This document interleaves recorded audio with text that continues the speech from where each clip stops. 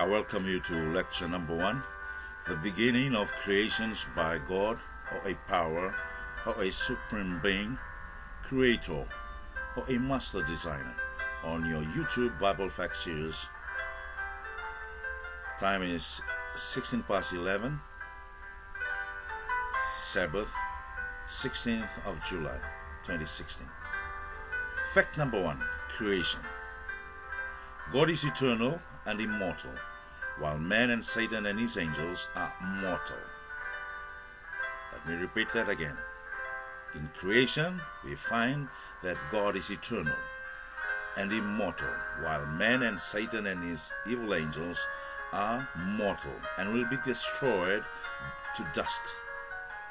So they will not live forever, as opposed to Satan's deception that we are all immortal when he tempted Eve, and both fell to this deception. The gist of the series is this.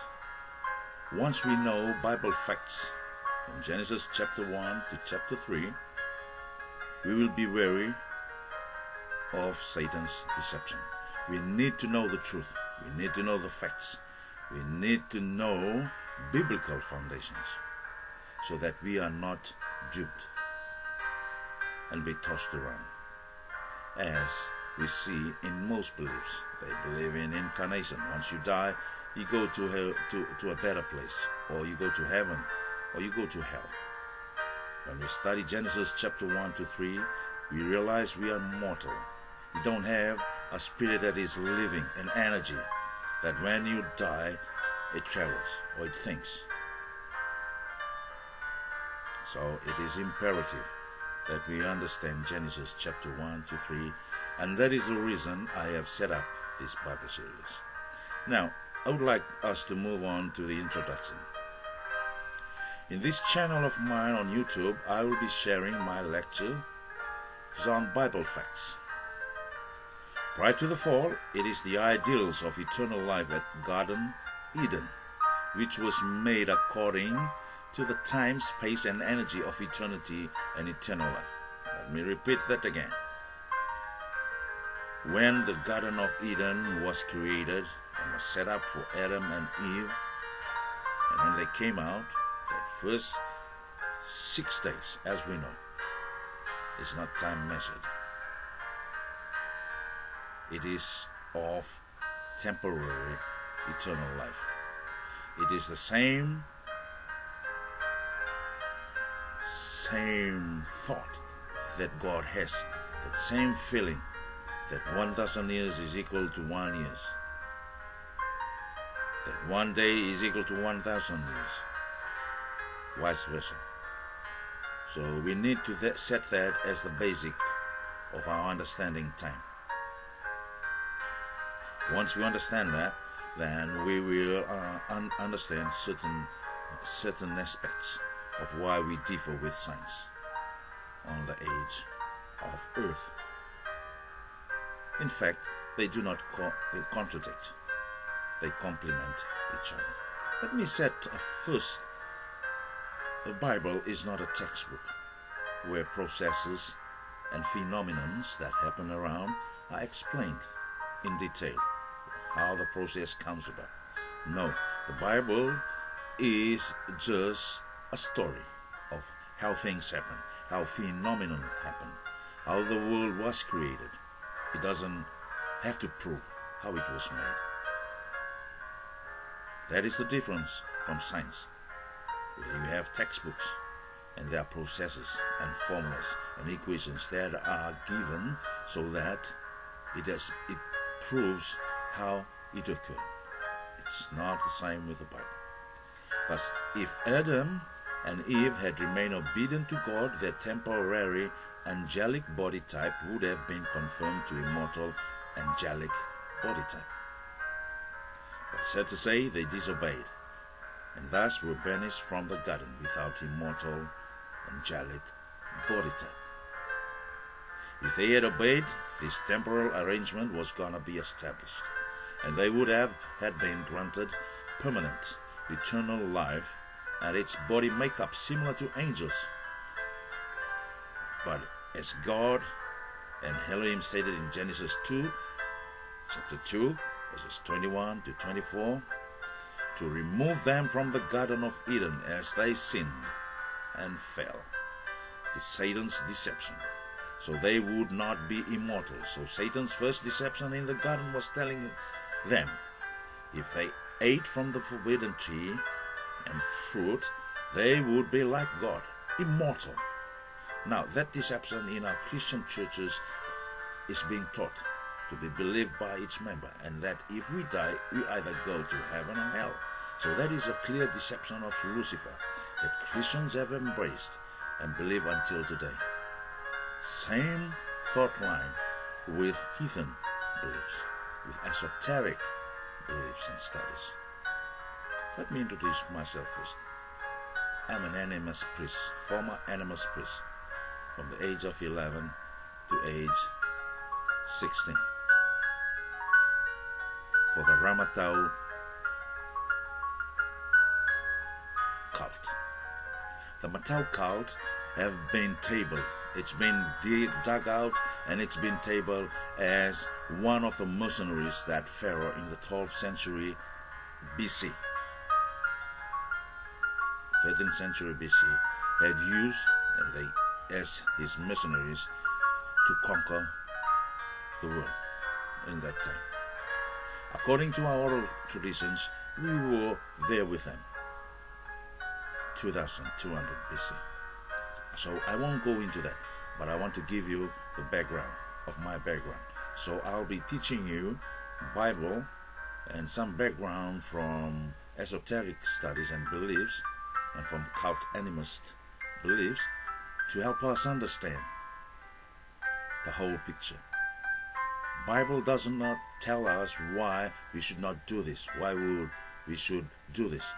But with the help from my experience from this animist background and as a priest for the Egyptian secret society, learning cosmic and mystical powers and studies on it will help us understand a little bit more better on certain phenomena that are happening on earth and how close to each other are Christian beliefs and heathen demonic beliefs secret society. So that is the background, my background. I graduated from with a bachelor degree. I majored in uh, Greek language and studies and minor in Hebrew studies. So with that little bit of help, I will try my best to help you understand some basic truths on the creation of Garden Eden, which is a model for eternal life. And the things that we get out of Eden, on the first three chapters, will help us establish what kind of life is eternal life. What are the truths? And we'll learn the, the alternative laws or alternative um, uh, remedy to the sin problem in chapters 4 of Genesis up to Revelation 18 that they were temporary, that they pointed to Jesus Christ. Those laws, those rules, those those remedies came to came to fulfillment when Jesus died on the cross. So those laws were nailed to the cross. So whatever we find, what the laws that we find in the Bible from Genesis chapter 1 to chapter 2, those are the basic fundamentals. Those are the basic constitutions laws in heaven for eternity, for eternal life. Once we understand that, then we won't be fooled by the deceptions of Satan. Let me go into the preamble, these Bible facts of truths in Garden Eden and outside of Eden. First and foremost, all facts or truths or fundamentals of life and laws established in the Garden of Eden was the norm, the laws, the rules of eternal life and for eternity. That's the basic fact. So we need to find those facts. We need to find those doctrines, those basic norms. Once we understand that, then we won't be disillusioned, carried to and fro, as St. Paul said. Number two, all facts that were introduced after Adam's sin or fall then are alternatives and were to be nailed to the cross of Christ at his death, for it pointed to him as the antitype. The type are the alternative laws that came into effect once they sinned. Doesn't belong to eternal life, doesn't belong to the Garden of Eden. That's why they were shunned, they were banished from the garden. But it has its separate norm rules. 3. Once I have revealed the eternal life rules in Eden, then we are in a safe position to realize that the judgment is good news to us humans and not to be feared, as many preach. The saints and even the prophet Daniel said it in Daniel chapter 7 and 9 the judgment is for the saint, it's not against the saints. It is one of the basic facts that we should know, learn. In Genesis chapter 3, when Adam and Eve sinned, God searched for them. God provided an alternative remedy the lamp. That's why we saw that they were clothed with an animal skin. How we know it is a lamb? Because of, of Cain and Abel. Abel followed the lamb's sacrifice. That was dictated. That was the alternative law of sacrifice, pointing to Christ, the real lamb. So judgment is for us, is in favor of us, not against us. So you when you come to Christ, all fears of judgment, every other things, they are taken off you. They are burdened. And and I'm really saddened when pastors preach the, the doctrine, the fact of judgment as very fearful. No, it is not fearful. It is fearful for those who are against Christ. Those who do not obey the alternatives or the rules or the variables which leads, which points to Christ. Once you come to Christ, as St. Paul says in Hebrews 8 and chapter 10, the Holy Spirit comes and instills in you the commandments and the laws. As Jesus said, if you love me, keep my commandments. When you are saved, you keep the commandments. You do not keep the commandments to be saved. For example, when they left Egypt, Israel, one month prior, the Ten Commandments, two months before the Ten Commandments were given, they were saved by the blood of blood of the Lamb on their doorpost. They ate the Passover, the bread, signifying Jesus Christ. Saving grace comes first for you to realize God's judgment has been in your favor, even though you still do not believe Him, even though you did not believe in the Ten Commandments. His saving grace comes to us. He was nailed in the cross before we were born, so you can accept His saving grace. St. John agrees with, with Daniel, in which Daniel said, Judgment is in favor of the saints, but against the little horn and his advocates and followers. John stated in Revelation that the judgment is the eternal gospel, Revelation chapter 14, or the gospel of justification by faith in its verity. Number four, I will prove that Jesus is the judge, lawyer, or our attorney. So no wonder one of the paraphrases, paraphrased Bible states that if God is for us, and Romans 8, who can be against us? It even goes on, not even our judgment. And we should not, we should say hallelujah to this great news. Judgment is good news. My fellow humans, my fellow Christians, my fellow YouTubers, my fellow FB friends. Jesus is our judge. I will go on into detail on John chapter 5. He's our judge. God won't be our judge. Jesus will be our judge. He'll be our attorney. Just imagine he's our attorney. And in 1 John 2, 1 to 2, we have an advocate. My brothers, do not sin, but if we sin, we have an advocate, a lawyer. So Jesus Christ is first and foremost our lawyer. And second, he will judge. So if he's our Savior and our lawyer, he came to die, and he's your attorney, and he never loses a case. And then he judges for you. Should you be afraid of judgment? I don't think so. So, this first series, I want you to be happy and be joyful as a Christian. Jesus takes care of your judgment. Number five, preamble. You should understand this preamble before we go into study. We will notice that the beauty of restorations of Eden, of humanity, back to the temporal mortality is being fully described in Isaiah 65 and 66.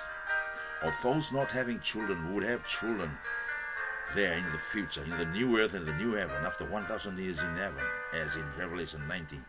They will go into marriage, the real ideal, not the alternative, your choice is no. In heaven, in the new earth and the new heaven, God's ideal will be, will, will be done. His will, not your choice of marriage. So don't be surprised in the new heaven, in the new earth, that God will give you your real wife that He intended. So this is my message to those who don't have children.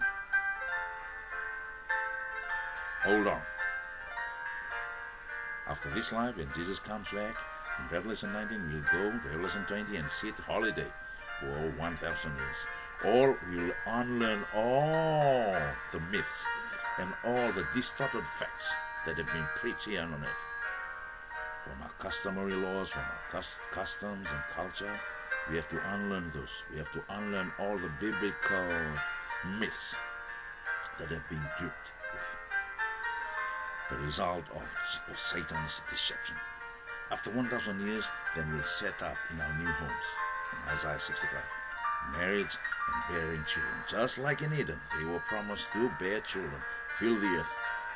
It has been cut off in Genesis 3, chapter 4. It'll be restored in Genesis, in Revelation 65 and 66. And uh, in Isaiah 65 and 66. Revelation 21 and 22 is alluding from it. So I cannot just wait to explain to you all the restoration of the family, the real ideal choice of God. What an exciting studies we're going to do.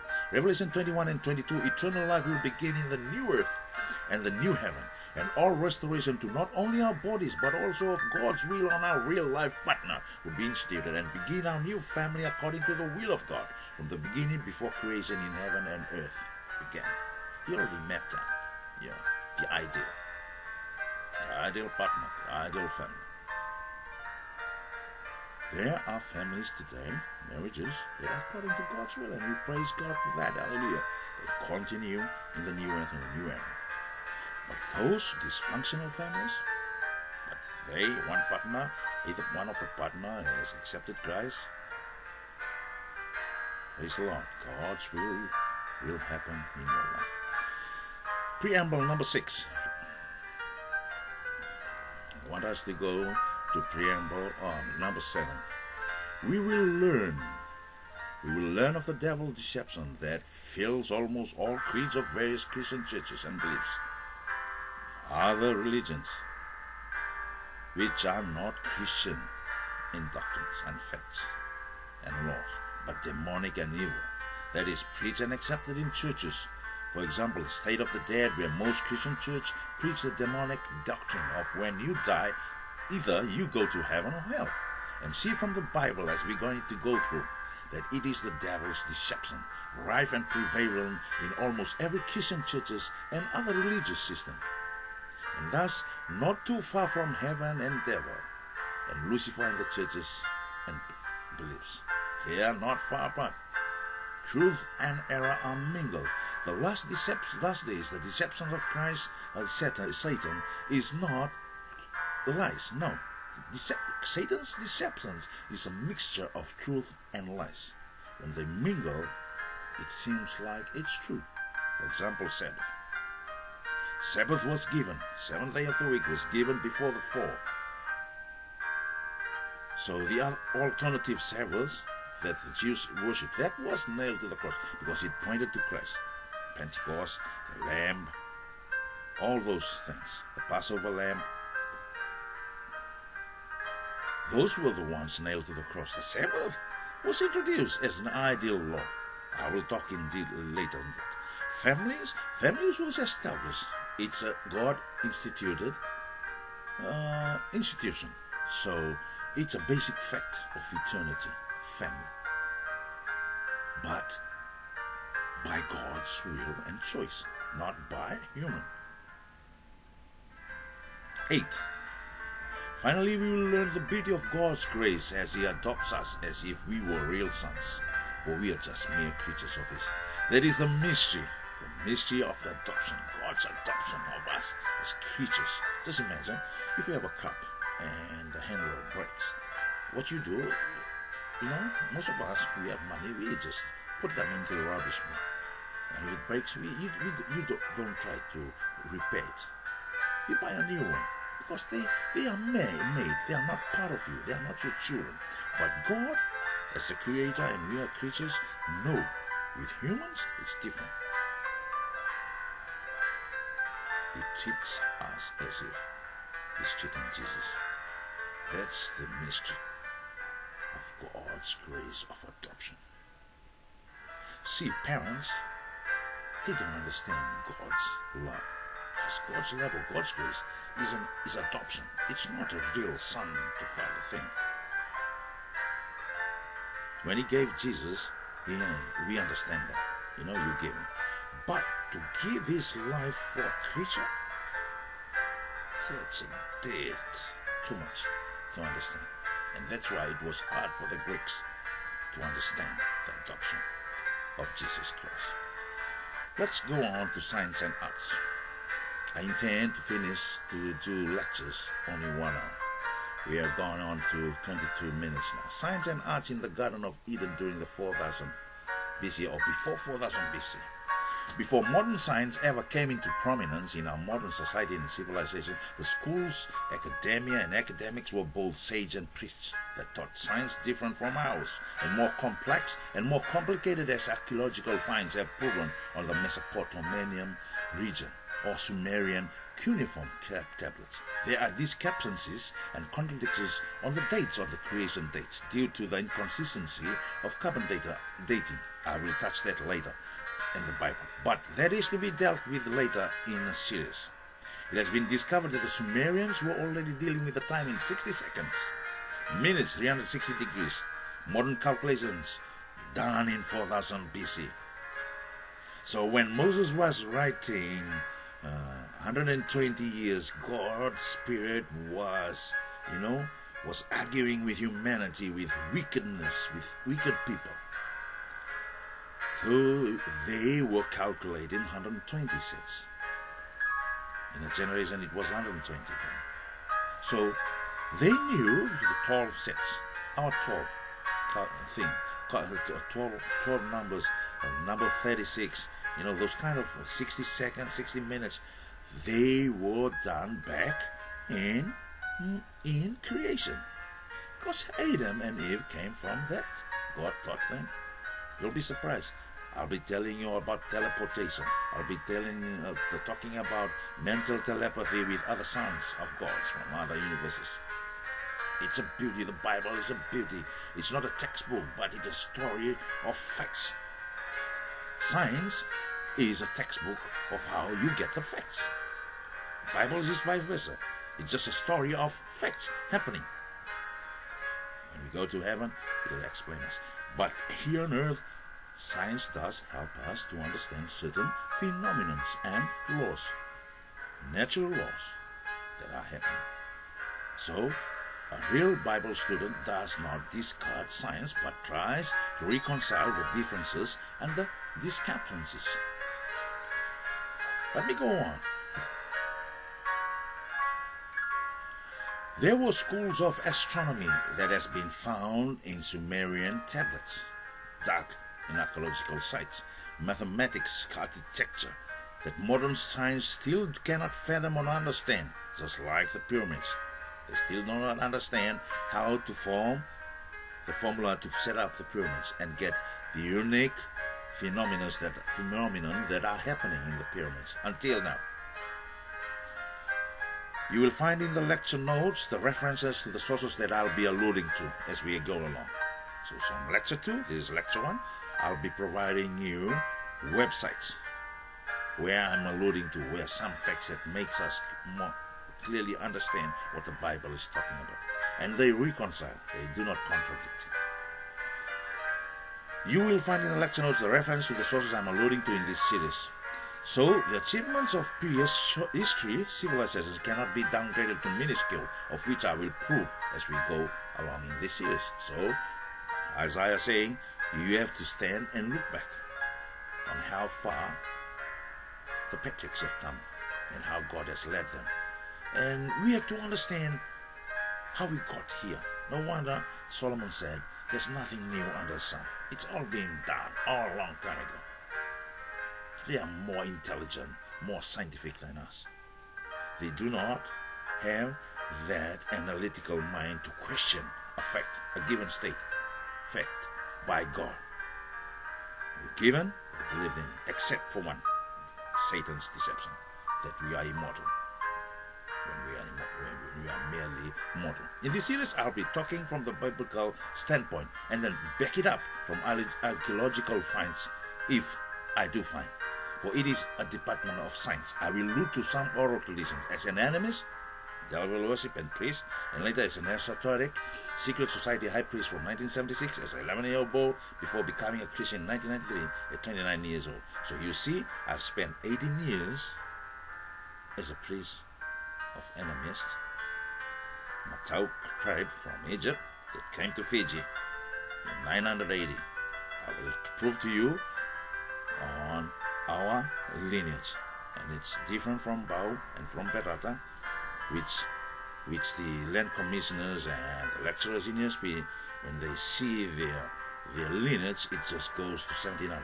My lineage is in the Tuktukuraramba in the Waitarong Vanua, and it goes back to 980. And we have certain names. I won't expose it. Later on, I'm planning to write a book on our tradition backed up by archaeological finds during my esoteric studies and archaeological finds that we are the Matau tribe that Pharaoh was talking about. And Fiji, they know it. They know it. My family is known for the Ramatau clan. Ra means the godson. Matau, the tribe of the right hand of Pharaoh, or the right hand of God. I will not expose it now at the moment. Just give you a hint. So let me introduce who God and the Creator, or some say as the Supreme God, or the Master Designer. Now we have about 32 minutes to cover Genesis chapter 1, verse 1, and verse 2, and verse 3 The purpose of this lecture is not an inductive one. As we go along, then we are bring up. These are just various um, uh, points that I see that we need to learn in Genesis chapter 1 to chapter 3. Now, Genesis chapter 1, we find the earth was already formed and was in a chaotic state and uninhabited or developed as we now see and experience. Let us go back to the Bible account now. But before we move on, we must answer what every human would ask naturally who and what is God? The question that begs to be answered is one of the universe mystery. What created God of creation? Or the supreme being? Or the master designer? Or the creator of the Big Bang Theory? See, I do not discard Big Bang Theory. But God used that to make things happen. That's how I'm reconciling science and the Bible. But I do not agree with science when they discard that there is a master designer. Genesis chapter 1, 1 to 3. God and creation. God and creation are two different makeup, body makeups. God has a different makeup, body makeup. And creatures are different body makeup.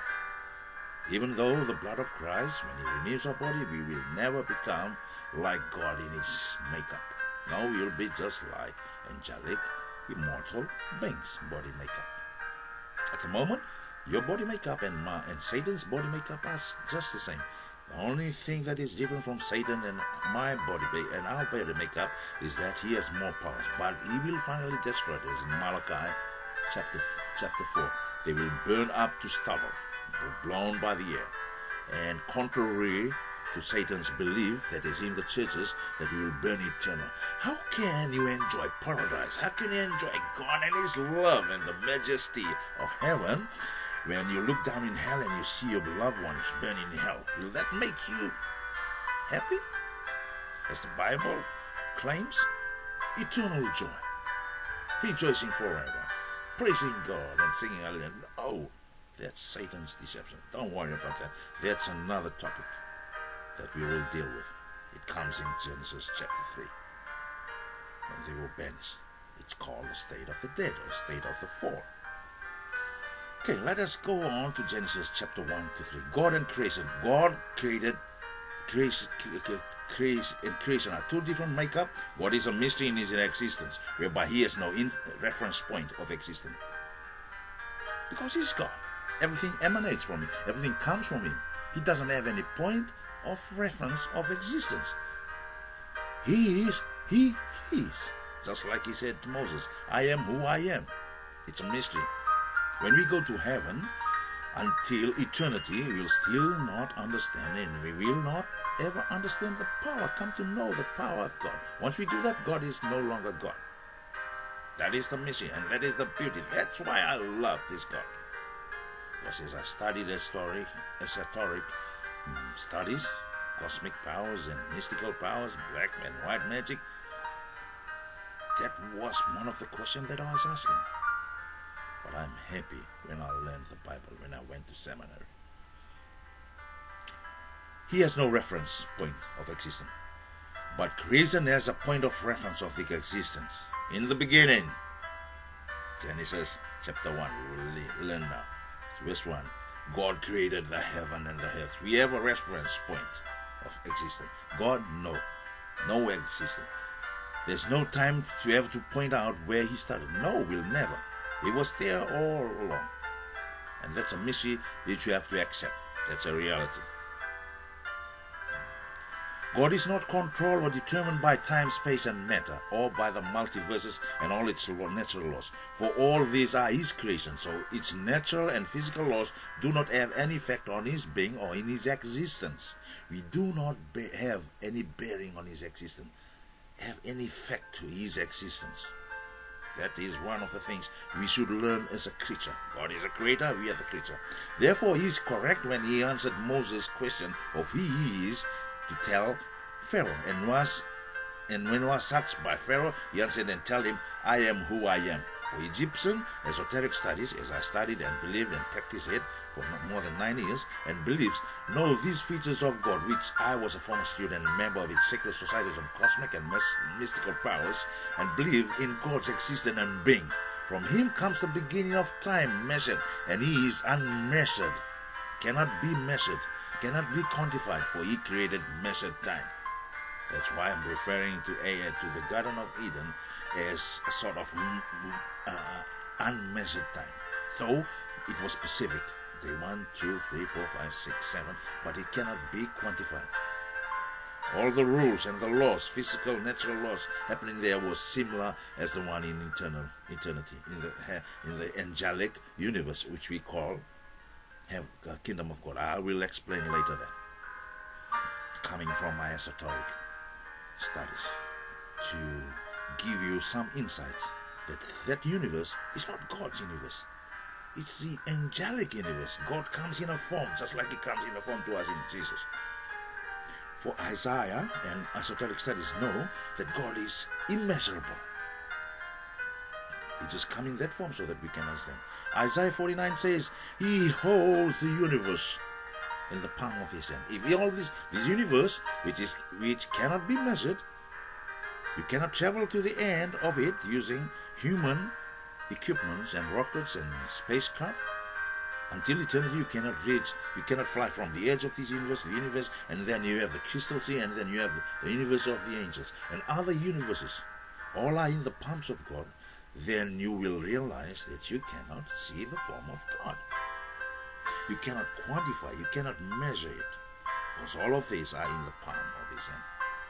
And if one or universe, you cannot travel from one universe to the edge of the universe. No. But the mystery of prayer, when you pray now, it can come in one second. Those are the natural laws. So the natural laws in those universe and this universe are far too different. Totally opposite with the body makeup. I will explain that later as we go on. So let, let me continue. He was in existence before anything was created. Things came into being. That is energy, time, space, universe, galaxies. What else? You name. Let us go. A constellation, stars, angels, sons of gods on other universes and galaxies like Adam. I will talk on that. Creatures and Adam of this earth all came. All inanimate and animate things. All tangible things in existence and intangible things that we cannot see. All came from God. so God, all things starts with him and ends with him. But he cannot be quantified or measured. Who and what is God as it appears in the Holy Bible and Scriptures? We have got 24 minutes left. In the beginning, God created the heavens and earth. Chapter 1, verse 1. This word comes from a Hebrew word which is, uh, which, which is called Elohim. You'll get your notes on the on the YouTube. Look into the YouTube uh, be, below this when you see this um, video clip on the YouTube, this lecture. On the bottom, it, will say "So more." Then you click on the "So more," you'll see this lecture notes. Okay, let me go back. Elohim. God here is Elohim, and it's pronounced Elohim. Is a plural masculine noun. So obviously, it's really obvious they are God three persons. This is the only proof you can get in the Bible, nowhere else. That God are three persons in one. Elohim. So when we open the Bible in Genesis 1, the three in one, the God, the three gods in one, they are talking about in unity. Different roles, different functions, different existence, different beings, but one. So when we open the Bible in chapter 1 and chapter 2, it's just talking about who? Elohim, the Father, the Son, and the Holy Spirit. It refers to rulers, judges, divine ones, or angels and gods. As a plural intensive, it has a singular meaning. Thus, the Bible refers to as God, Goddess, like three God in one. That's why it's saying God. In the beginning, God. But Elohim, though they are three in one, they are three, but they are in one in unity. That's one of the many. I'm quoting now from the lectionary or the dictionary for Bible words on Hebrew and Greek. It can refer to, to, to, to angels, plural, or gods. As a plural intensive, it has a singular meaning. Thus, the Bible refers to it as a god or goddess, or god-like one, or works or special possession of God, the true God or God. So, God that we look at, the true God, are composite of three persons. The KJV uses it to mean God 2,346 times. Small God 244 times. Judge 5 times. So God is also a judge. God 1 time. Goddess 2 times. Great is 2 times. Mighty 2 times. Angels 1 time. Exceedingly 1 time. God word is 1 time. And godly is 1 time. So when you look at the word Elohim, which is 3 in 1, God three persons in one, or just one, or God. When you look at that word, you know they are three persons in one. Genesis 2. However, we need not panic here, for the text says specifically who they were. Genesis 2 4 now expose one of God. God, gods, or not gods, but the Lord, God Yahweh. So, chapter 4, 2 and 4, we see this word here. The Father, God the Father, in Genesis 2 4 coming up. So let us go into first point. The Lord God or Yahweh, God the Father, Genesis 2 4. Let me go on. The first Godhead. This is the account of heavens and the earth. They were created in the days that the Lord God made earth. That's chapter 4, chapter 2, verse 4. Let me read again. This is the account of the heavens and the earth when they were created. The day the Lord, capital L O R D, God. So the Lord comes first and then God.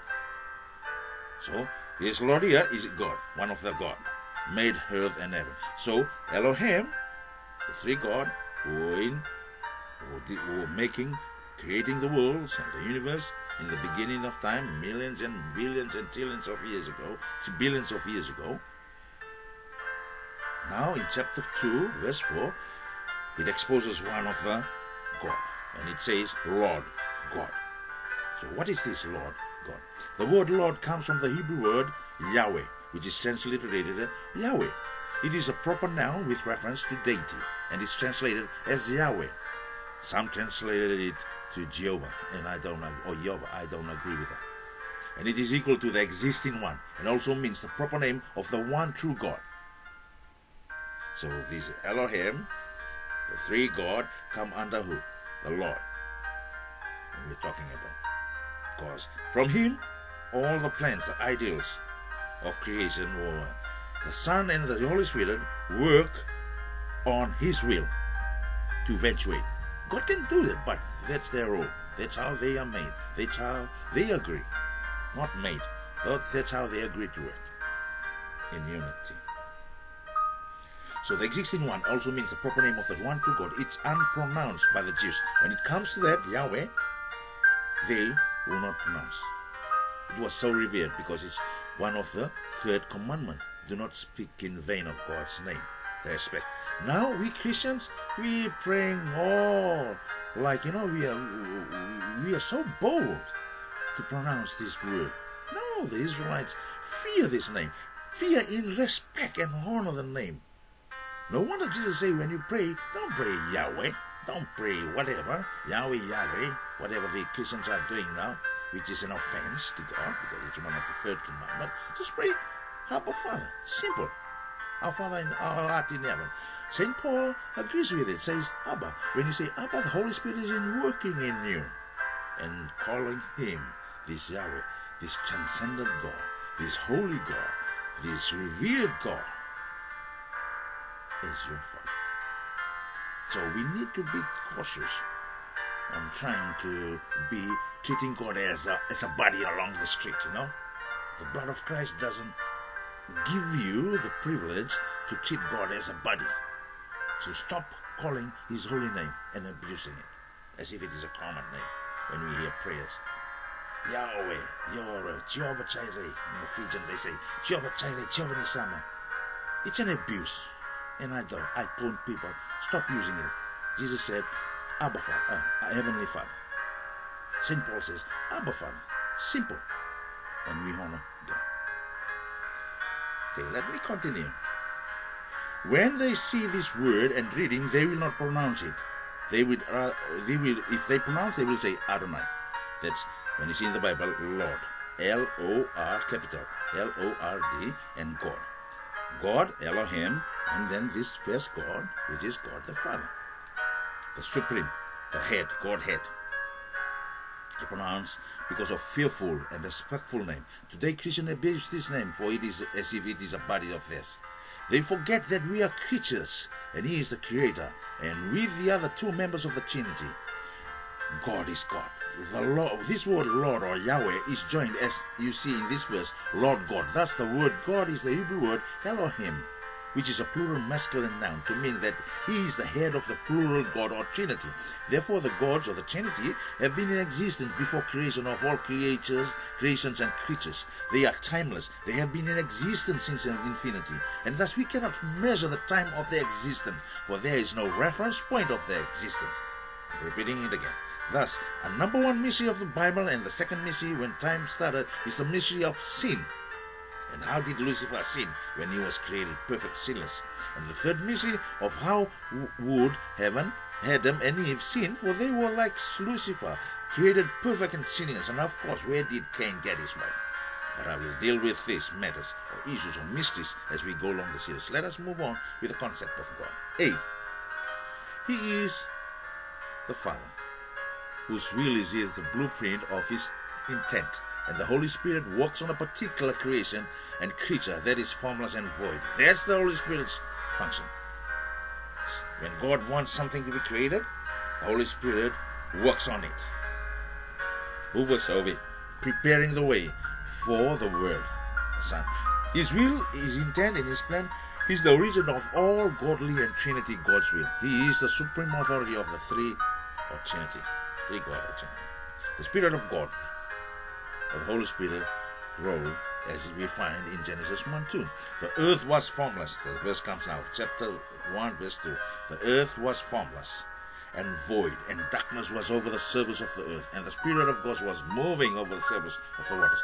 For God's spoken word to have the effect to the will of God or Yahweh to be established, the Holy Spirit must hover over a formless void creation or creatures or even nothing at all. Nihili, as the Hebrew Greek word says on uh, equivalent of the Hebrew word, out of created nothing something out of nothing. Even if it's like that, but the earth was created when we're talking about Genesis chapter 1, it's developing the undeveloped, already created earth, which was created in the beginning with the angels and the universe, but not developed. The Holy Spirit works before the to, for the will of God to happen. The Holy Spirit works on it, hovers over it, prepares for the Word of God to actualize the thing. Not that the Word doesn't have, no, it's just the role. That's how they work. That's how they are. When we go to heaven, then we'll learn more about that. And the one that's in news. So the Spirit of God must continue over over every sinner saved by grace until or she is dead, until Jesus returns to take us home. So when we give our lives to Jesus, the Holy Spirit comes and over hovers, molding us, preparing us until we die, and until the Jesus days come and He gives us and just hands us over to Jesus as a new creature. If not, then the devil is more powerful than us humans. will usurp our minds and senses to worship him, and thus the need to continually, continually die daily, as Paul said. So Christ, through the Holy Spirit, would continue to be invited in our lives daily. So our lust and evil would not reign, but the will of God and Christ in us, through the power of the Holy Spirit. Fourth point. Jesus was clear on this process, for he tells us specifically himself in John 16, 8, 14, verse 8. And he, when he comes, will convict the world concerning sin and righteousness and judgment. Verse 9, concerning sin, because they do not believe in me. Verse 10, and concerning righteousness, because I go to the Father and you no longer see me. So that's one of the basic facts. Jesus goes, his role is finished here on earth, but not on his ministry as a lawyer and judge. To take, so he's gone to, to, to, do the second part of the priest, the high priest that does in the uh, sanctuary, the Moses tabernacle and uh, the, the, the temple Solomon and David built. He has gone to do that in heaven. But for us here on earth, the Holy Spirit must come to stay with us because it's a separate duty altogether to start cleansing us, to start instilling in us the law of God, restoring it back again. The ideal laws that were created in Genesis chapter 1 2 that we will go into marriage,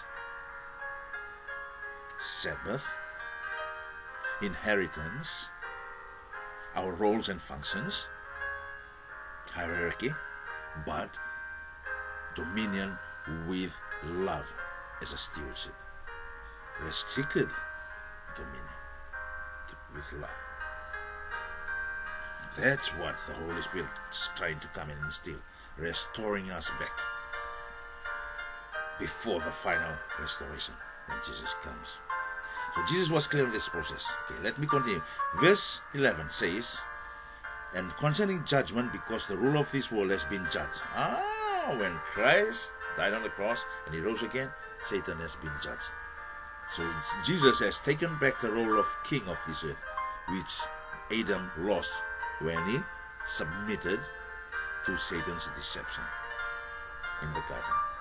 So he's been judged. So don't worry about Satan and his um, uh, lies and deception. You have to know that. Because the rule of world has been judged. Verse 12 I have more things to say to you, but you cannot bear them now. But when he, the Spirit of truth, comes, he will guide you to all truth. For he will not speak of his own initiative, but whatever he hears. See, whatever he hears from Jesus. Not what the Holy Spirit will come and give us a new Sabbath, give us a new law, Ten Commandments. No. Whatever Christ has established. He doesn't come and contradict for a new Sabbath. If then Jesus would have said, uh, uh, I'm gonna go die when I rise, rise up again. You change the Sabbath from seventh day to first day, and I didn't see that in the Bible. I didn't learn that from a Seventh Day Adventist. No, I learned it from my Bible study. And any person that is has a mind, common sense, even though he doesn't go to school, is illiterate, if he can read and he can understand, he will know these basics. If the Sabbath is to be changed, Jesus would have said it, because the Holy Spirit will never come and introduce a new thing altogether. No, no. It's very clear now in John 16, chapter 6, chapter 16, verse 12. I have more things to tell to you in verse 12, but you cannot bear them. 13, but when he comes, the Spirit of truth comes, he will guide you to all truth, for he will not speak of his own initiative, but whatever he hears, he will speak. He will disclose to you what is to come. He will glorify me, for he will take mine and disclose it to you. See? He doesn't come and get a new Sabbath. When Jesus believed in the Sabbath, worshiping the Sabbath, the disciple worshiping the Sabbath, I always put out a claim.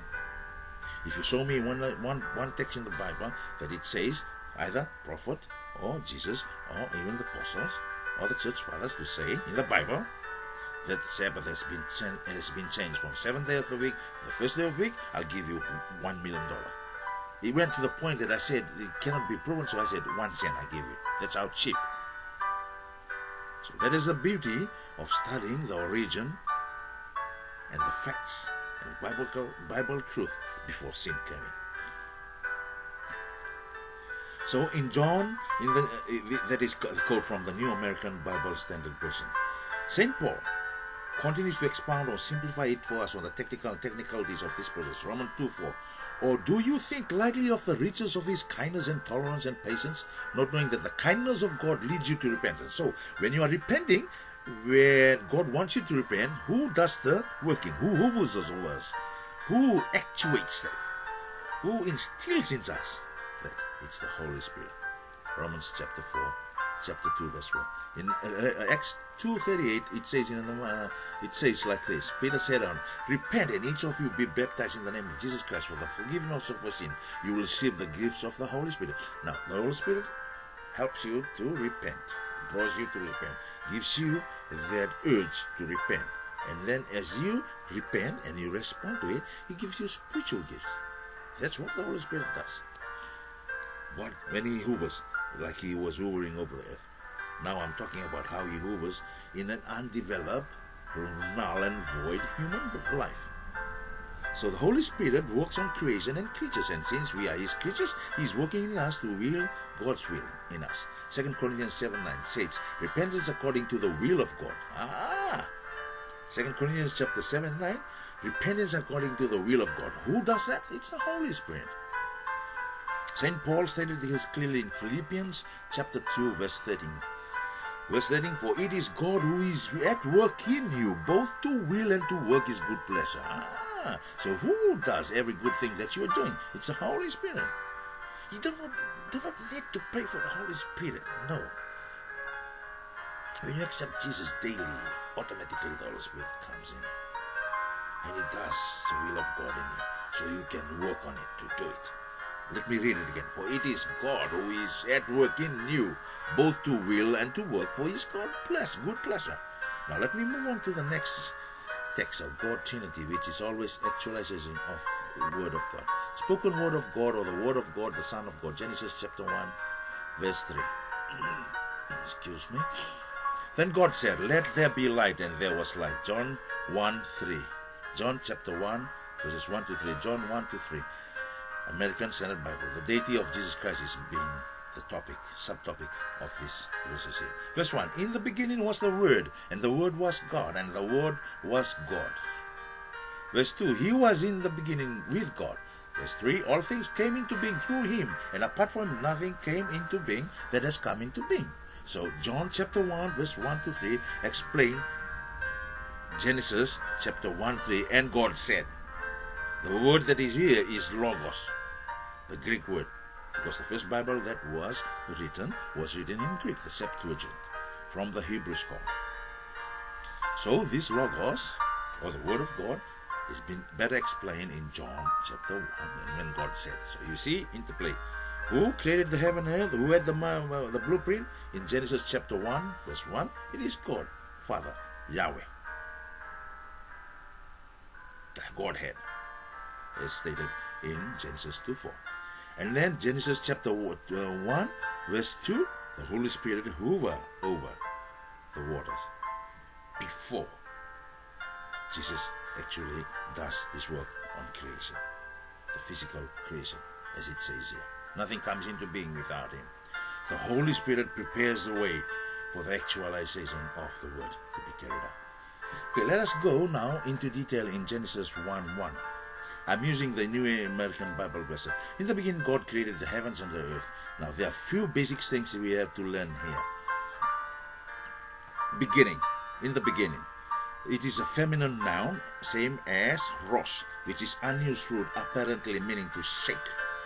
So, in the beginning, shaking of things. So, shaking of something. When you shake something, it's not null and void. So the earth was already what? Formed. So God shook it. It was formed millions of years with the angels and the universe where the angels reside. So now it's just a shaking. Comes from that, the beginning, the shaking. The word that used in the formation of angels is not shaking in the beginning. No, it's different. We'll learn that in heaven. The Bible is mystery there. So the biblical usage head, top, summit, upper, chief, part, sign, beginning. The Bible uses it as a head of man, animals, top, tip, mountain, heights of stars, head, chief, head of man, nation, place, family, head of beginning, chief, choices, head, division, company, band, sum. In the beginning, first it means beginning, best, chief, choice, spot. The following translations are used in the Bible. The words translated this same word, ros, is, is, is used as beginning 18 times in the Bible. First fruits, 11 times. Trans, uh, first translated, first uh, 9 times. Chief, 8 times. Uh, miscellaneous, 5 times in the Bible. The heavens, now another word that is used in verse 1, the heavens. It is translated from the Hebrew word shamayim, which is a masculine noun and is derived from an unused root meaning to be lofty. It means heaven totality, or heavens or sky, that is as most atmospheric air. Then the Bible uses the following visible heaven, sky, that is, we are in atmospheric air, as the abode of the stars, that's a space, and then the visible universe and the sky atmosphere, and could be used in the following the heavens as the abode of God. Not the, I'm telling you, the abode of God here means the angels universe. God, you cannot contain God because everything is in God. There's no, there's nothing that can contain God. There's no abode of God. It's, it's a figurative speech to make us understand, better understand. Our minds cannot understand that without natural laws and physical laws and physical body makeup. So it's easy to say the kingdom of heaven or the abode of God. No, it's the abode of angels where God comes in a particular form, just like Jesus came reincarnating in human forms for us to understand. So the earth comes from this Hebrew word eretz, translated eretz and mean an earth which is earth, whole part of earth. Sometimes I'll, I'll talk about that later. Eretz. When we come to the flood and to the destruction of Sodom and Gomorrah, so, so destruction of, of the earth, and when uh, Lot's daughters say there's no more humans on earth, using the same word. So here, earth means the earth, already formed. Here we are told that God, note on this thing, is not God in the beginning of time created earth. The three heavens, that is the atmospheric air, our space where the stars are hung in orbit in sphere and galaxies, and the heavens where the angels of God reside in another universe. All these two universes, or the multiverses as I claim, were created once as a whole system of creation to be developed and inhabited in different phases, just like you develop a parcel of land, they were done in stages, but it's already there. There were different times of eras in which it was created, and Earth was the last of all these creations to be developed and inhabited. Thus, scientists are correct to say that the Earth is in millions of years old, but last to be developed. So, when we talk about the Earth's age, it is in millions of years, and null and void or simply undeveloped. Earth was created together with other stars, planets in this universe, and the universe where the angels reside, but just developed this earth, when it's talking about Genesis chapter 1, it's just talking about how it was to be developed. Because it was already there in existence, but not formed, not developed. We do not know how it took Adam and Eve to sin when they were created. The scientists could be right that human activity in the, is in the 8,000 or 12,000 BC, or even hundreds of thousands of years. Measured time started when Adam and Eve were banished outside the garden Thus, theologians are stating that the earth was created 4004 BC. They are not wrong in that because they are referring to a reference point where time started. But you can measure time inside the, unme- the unmeasured time, the eternity time. You know that. But from a human perspective and measurement, we can measure that. It started in 4000 BC, 4004 BC when they were expelled, banished from the garden. I'll explain it that later. Most of you will be confused by now. So this would be a mystery and only God will let us know in the millennial judgment, Revelation 20, the 1000 years Jesus returned. We'll spend in heaven and after the millennium 1000 years we will come back to earth where eternal life and eternity will begin, for that is the Eden restored. So Jesus and the second Adam will restore what first Adam forfeited and lost during his due to his disobedience. Let us begin with our investigation of creation so that we can get out of it as the basic fundamental truths of facts and eternal life. May God bless you. After lunch, I'll do a half an hour um, session on that. So let me go briefly again on chapter 1 verse 1 and chapter 1 verse 2. Basic. Creation verse 1. In the beginning God created the heavens and the earth. Our purpose here is to investigate if God created the earth and the heaven just recently or from million years ago.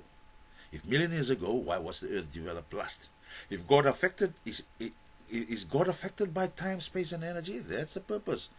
That's what's the question that is glaring in front of us on Genesis chapter 1, verse 1 to 2 and 3. Is there a difference of body makeup of God, holy angels, Satan, evil angels, and finally humans? Can we really be like God in the body type? Or be like holy angels when our body are renewed when Jesus returns, as stated in 1 Corinthians chapter 15, verse 50 to finish. I will not investigate that now, but as we go along this series, then I will answer the questions above. So please, bear with me.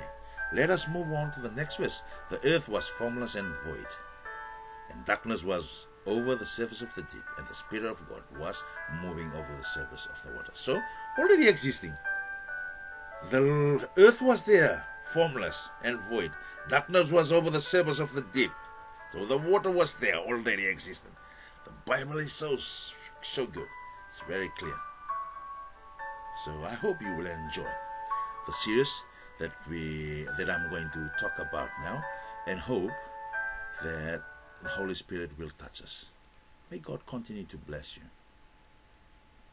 And uh, if you want to, if you want to, if you want to, to ask question, I'll give you the email. I'll put it under, under on the YouTube, on, um, or on how to contact me, either on Facebook or on my Gmail. So don't worry about that. That will be taken care of. I will uh, give you the luxury of coming to know and uh, give me your questions. There are other things that uh, in in the Bible series that uh, will help us, and I hope that uh, it'll help you.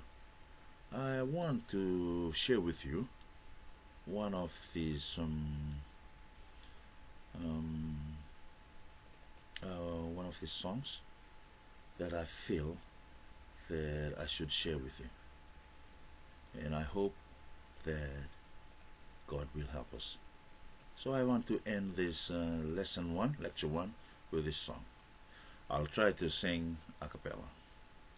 This is one of the songs that touched my life when I became a Christian. I woke up the next morning after being exorcised by Jesus from the devil, the Queen of Heaven, who was my tutor and lecturer and was my guide when I was an enemy's priest and then an Egyptian white magic priest. Abide with me, fast falls the eventide. The darkness deepens, Lord, with me abide.